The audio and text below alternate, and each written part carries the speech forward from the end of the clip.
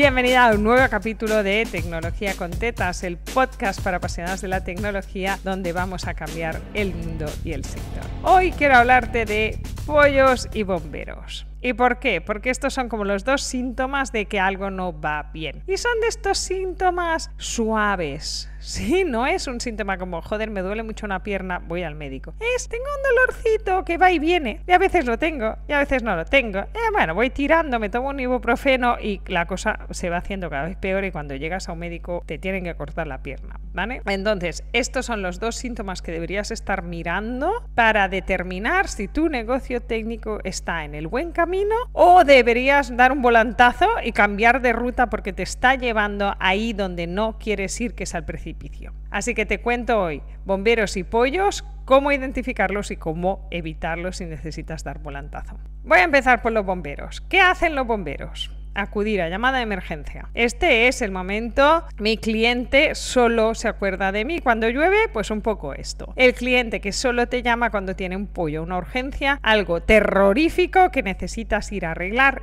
ya. Y ese es el único momento en que se acuerda de ti y ese es un momento terrorífico para hablar de precios. Si yo estoy en medio de una campaña de venta y se me cae el pago online, no es el momento de negociar cuánto vale mi hora porque el cliente está estresado y tú estás bajo presión, sobre todo si lo has montado tú, de cuño, ha fallado algo que yo he montado y esto nos da una culpa tan salvaje que al mitad de tiempo ya no estás por hablar de precios, estás en gestionarte tu culpa y el estrés. Está bien, puedes gestionar tu culpa y tu estrés y solucionar el problema, pero no hablar de precios. Si tus clientes solo se acuerdan de ti cuando tienen urgencias, cada vez que hay una urgencia estás perdiendo pasta. Y esto te puede pasar un día, dos, tres, pero mal gestionado convierte tu vida en un nivel de estrés horroroso, de clientes que saben que solo reaccionas en momentos de emergencia. Tira para atrás ¿Por qué están sucediendo estas emergencias? Porque como funcionas en modo emergencia y no tienes tiempo de hacer las cosas bien y con calma, cada vez tienes más emergencias y cada vez tienes más pollos y cada vez tienes más cosas que se rompen y cada vez tienes menos tiempo para negociar precios. ¿Ves a dónde voy?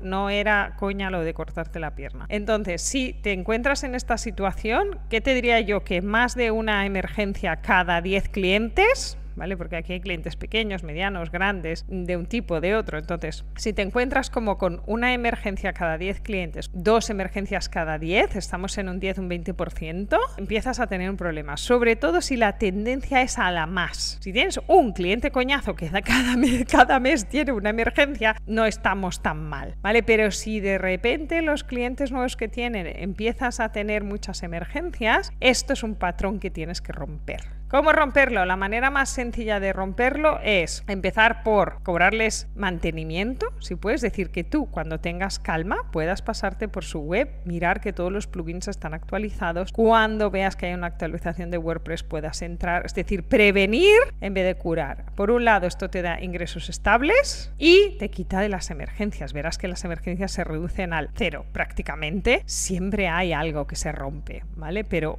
vives mucho más tranquila. Y el cliente vive mucho más tranquilo porque sabe que te lo has mirado y que está funcionando. Y si hay media coma que no va, no te llama en pánico. Te dice, hey, cuando entres, mira esto por favor. ¿Vale? Entonces, cambiar la dinámica. Si puedes entrar en modo mantenimiento es maravilloso. Si no puedes entrar en modo mantenimiento, ya sabes que a mí me disgusta, pero puedes entrar en el modo pack de horas. Porque así ya las tienes prepagadas y cuando llega el pollo las resuelves sin tener que negociar el precio y luego le dices, pues he estado tantas horas. El problema de los packs de horas es que el cliente siempre te va a cuestionar cuántas horas has estado. Y además, como es en modo emergencia y a veces te, no, ni lo has montado tú, sencillamente te encuentras con el pollastro enorme y tienes que ponerte a investigar cómo está montado, pues si de repente tenías un pack de 5 horas, resulta que has invertido 5 horas en ver qué coño está pasando. Y todavía no lo has arreglado, pero claro, hemos dicho, ese no es el momento de negociar. Con lo cual, con tu pack de 5 horas te comes las 10 horas de investigar y arreglar. Y como siempre estás palmando pasta.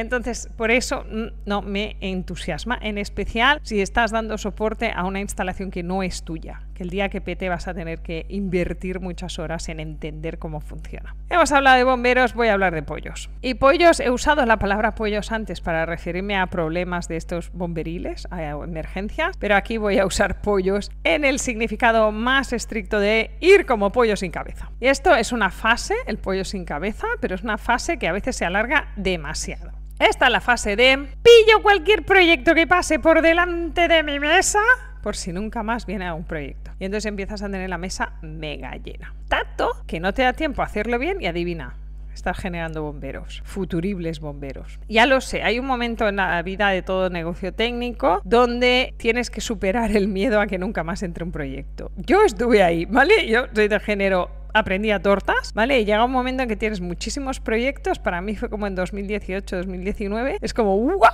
Por fin entran los clientes solos, o sea, por fin estoy vendiendo lo que tendría que vender, pero como vienes de años de no vender suficiente, tienes ahí como un run run en la cabeza que dice, ¿cómo le vas a decir que no a esta? Tía, que son 300 euros, a ver si luego te vas a morir de hambre. Y entonces pillas todo lo que pasa, además con tarifas inadecuadas y te conviertes en la chica barata que lo monta de puta madre. Entonces, este modo tienes que salir de ahí, de ahí se sale subiendo tarifas. Está fácil. Si estás en este modo, en pollo sin cabeza, pillo todo lo que pase, sea el precio que sea, porque todo es dinero, amigui, tienes que salir y tienes que salir subiendo tarifas, opción 1, opción 2, si no quieres subir tarifas, especializándote en un sector o preseleccionando a tus clientes. Pero si no subes tarifas y dices que no a la gente, luego no te cuadran los números, por eso te digo que es que hay que hacerlo a la vez. Subo tarifas y cuando digo subo tarifas no es 5 euros la hora, es doble, triple. Yo pasé de cobrar 40 a cobrar 90. Y este problema se solucionó, de hecho generó otro efecto que yo no conocía, bueno que sí que lo había leído, pero como soy del género incrédulo y hasta que lo vivo no me lo creo, pues ya te lo cuento, pero si es de mi género, pues ya lo experimentarás. Que es que llega otro tipo de cliente,